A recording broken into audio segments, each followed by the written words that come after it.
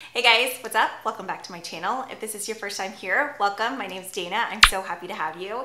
In today's video, I'm going to be doing a tag. I feel like I have not done one of these in forever. I know I'm a little bit behind because I think this tag's been going around for like two months now. I've still been going through and anytime I like sit down and get ready, I pretty much type in this video every day to see if like anybody new has posted it just because it really gives me inspiration to go through, dig through my collection and pull out a new palette. So if that didn't drop some hints for you, today's video is going to be the palette tag.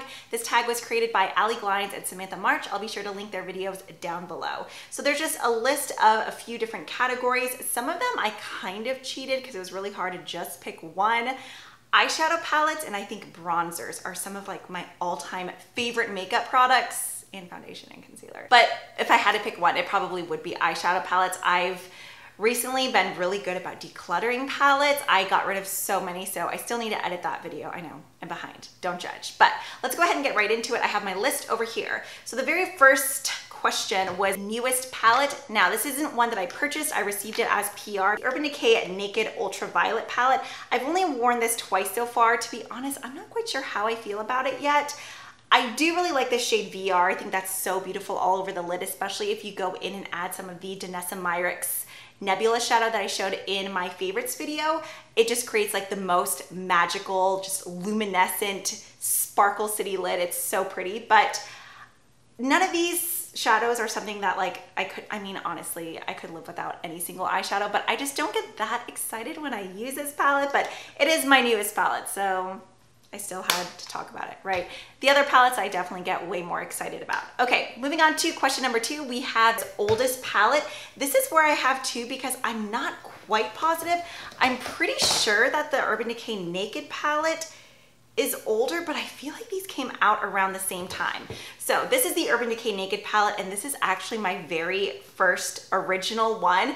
I have kept it just for sheer sentimental reasons. Clearly, I love the shade Virgin Sin, Naked, and Half Baked were some of my most used palettes.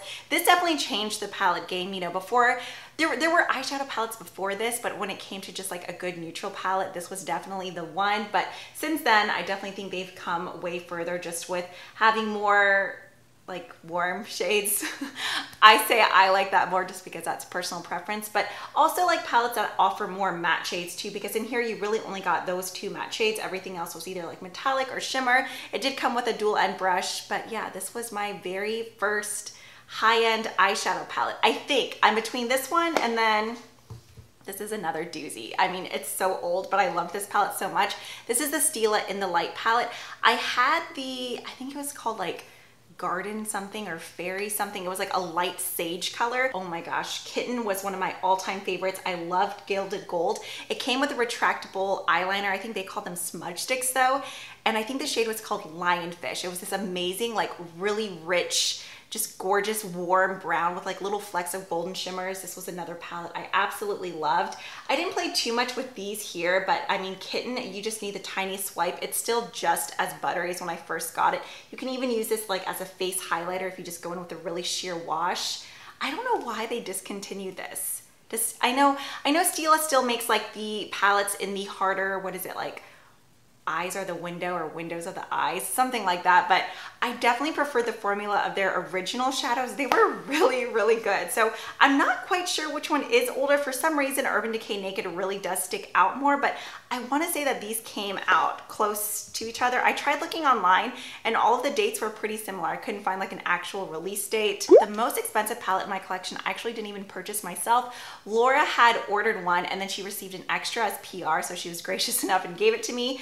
This is the Natasha Denona Sunset palette. I'm pretty sure this retails for like $129 something insane like that. While I do love this palette, the pigmentation is beautiful, the color story is definitely right up my alley.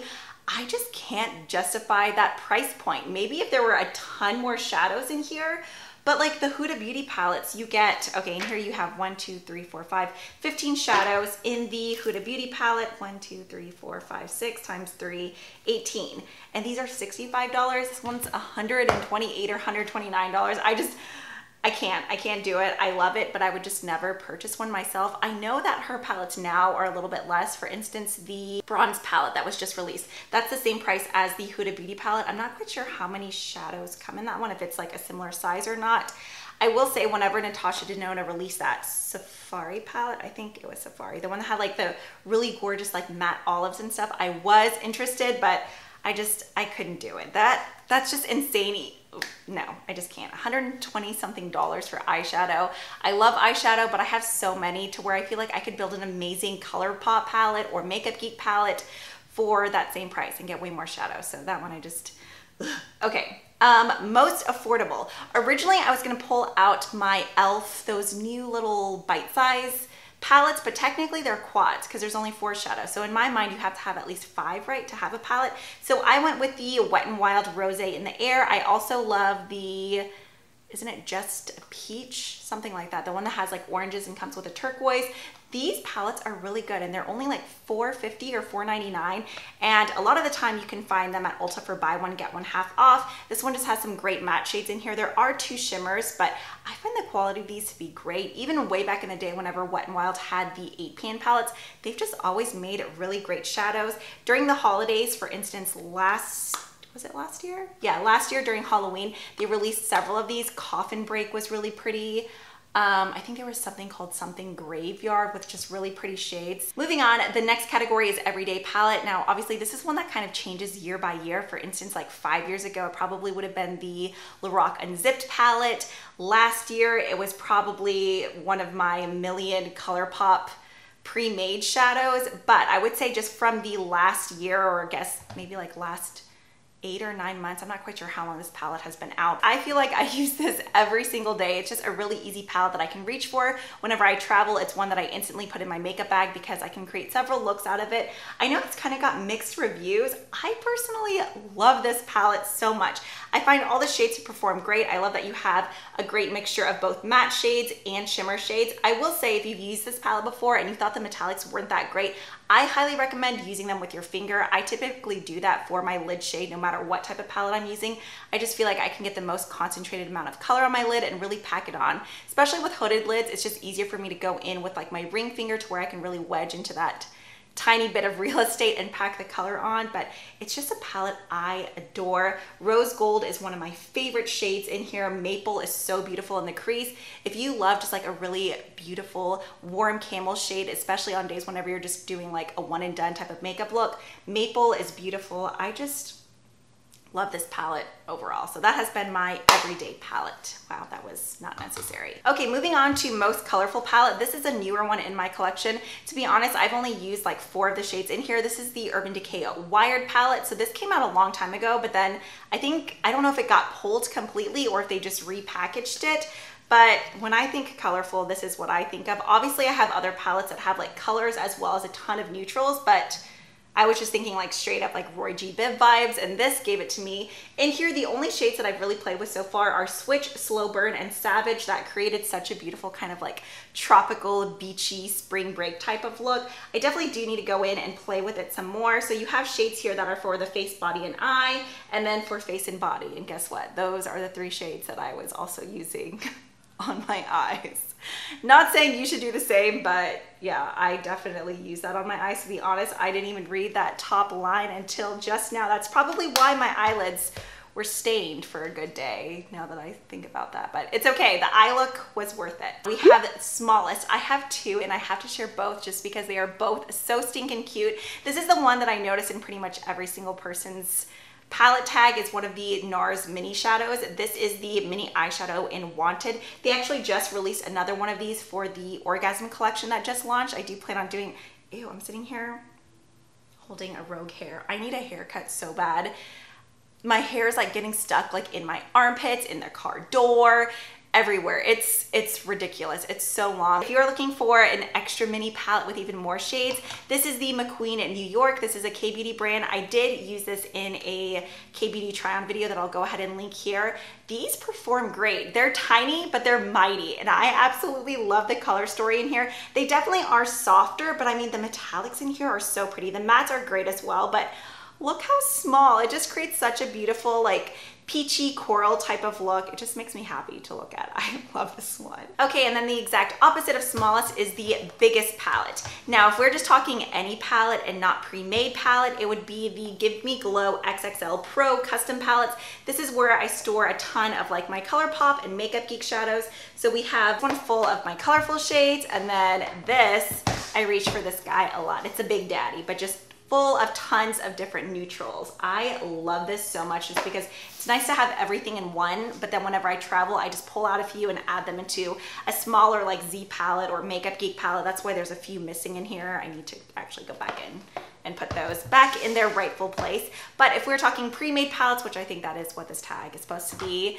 it would be one of the Profusion. This is the Mirage palette. You get 35 shades in here. These are so affordable. You can find them at Target, at Walmart, on Profusion's site. I'm not sure if this one is still available in store or not. They have so many different color stories. I've decluttered a majority of them, but out of all of them that I had, which I think at one point I had like four or five, Mirage is definitely my favorite. I just love oranges and purples, especially together. That's why I love one of the palettes I'm gonna talk about here shortly. We have Best Memory. Right off the bat, I would say one of my MAC palettes. This I actually depotted and then put back into one of their newer palettes. That way I could see through because it was in one of the original thin MAC palettes. So a lot of these shadows are incredibly old.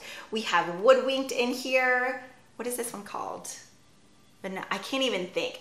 I just remember the joy I got whenever I filled this palette. Several of these had to be replaced because I used to have, I think like rice paper in here, rice paper, woodwinked, soft brown, and something else. Those were like my very first four MAC shadows, but I just remember saving up my money and going through just to like add a new pan every so often. Worth the hype. For me, the Huda Beauty palettes are definitely worth the hype. I realize they're $65. I was just complaining about Natasha Denona whenever her palettes, well, some of them are now $65, but these are 100% worth the hype for me. Desert Dusk is one of my like all-time favorite palettes. Whenever this first released, I could not put this palette down. It was like the only palette I was using for months and months. I just really love like purples and oranges, especially on brown or hazel eyes. I just really find that they help your eyes to pop. I'm doing an eyeshadow palette video and I just realized I'm not wearing a stitch of eyeshadow. Not quite sure how that worked out, but at $65, it definitely is a heftier price point, but I just love these palettes so much. I have the nude one, I have rose gold, I have desert dusk. I didn't buy, wasn't like retrograde, is that her latest one? I feel like there's actually two that I haven't purchased. But those ones, I don't know, the colors weren't as exciting to me, just like the really frosty, metallic shades. Don't get me wrong, I love glittery shades, but something about these two, I just, adore so much. So if these color stories are up your alley and you have an extra $65 to spend, I would highly recommend them. I adore them. Okay, moving on to Not Worth the Hype. Now, I love the brand Charlotte Tilbury. I think she makes amazing complexion products. When this palette first came out, I really did like it, but I just don't know if it's really worth the hype for the price point. This is the Stars in Your Eyes palette. It is beautiful. I do still use it, but I just don't really think her palettes are worth the hype. I always see people raving about like her mini, is it like five or six pan palettes?